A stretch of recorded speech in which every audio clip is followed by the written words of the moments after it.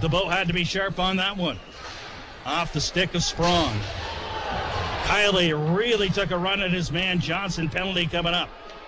Battle along the boards. Olivier pushing and shoving. Henley in there helping Pelche. Now Henley takes a second shot and Haas goes right after Henley. Haas is throwing big hands. We've got a second fight. Pelche going at it. And Olivier is really taking a run. Now Henley taking a ride on Haas. Oh, you know what? Breaking loose. Pelche taking punch after punch. McDonald's out of his goal, challenging DeBow now as they finally break up Pelche and Olivier. Henley still mad. And we can still have something as Vance is trying to get something started. As Henley is ushered off the ice.